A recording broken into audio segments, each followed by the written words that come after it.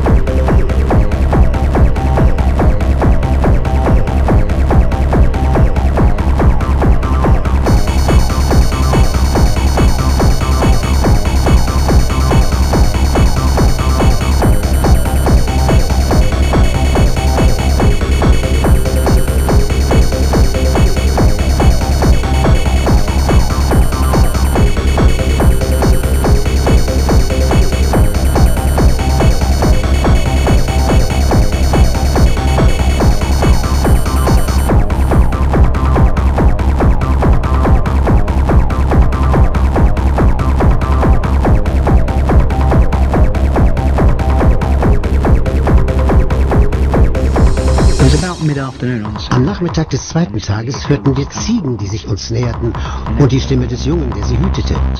Als er uns sah, wurden seine Augen so groß wie Untertassen. Er wusste, dass da was nicht stimmte und rannte schreiend in Richtung der Geschütze.